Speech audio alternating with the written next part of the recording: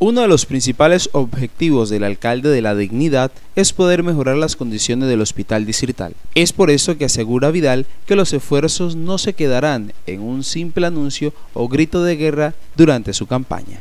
Mejorar el hospital es un compromiso personal, compromiso como alcalde, compromiso de campaña, compromiso, una convicción de vida y un compromiso con todos los bonaverenses. Asimismo, aseguró el mandatario que los trabajos por lograr ese resultado no han parado. Estamos trabajando fuerte junto con el gerente y el resto del equipo para avanzar en el hospital.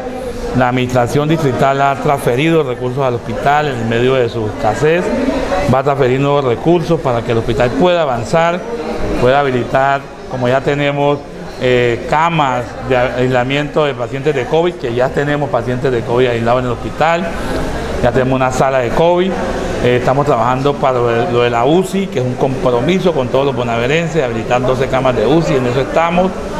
Hay que decirlo, hemos tenido algunas dificultades con los proveedores de los equipos, pero el resto está bien, vamos eh, avanzando en eso, se van adecuando la sala de UCI y pues afortunadamente ya, eh, ya tenemos proveedor para los equipos y bueno, en eso estamos avanzando. Y en general la parte administrativa. El mandatario aseguró que además de la parte que le corresponde desde la gestión y lo administrativo junto con el gerente, se requiere que cada uno de los trabajadores de esa casa de salud sigan entregando el todo por el todo.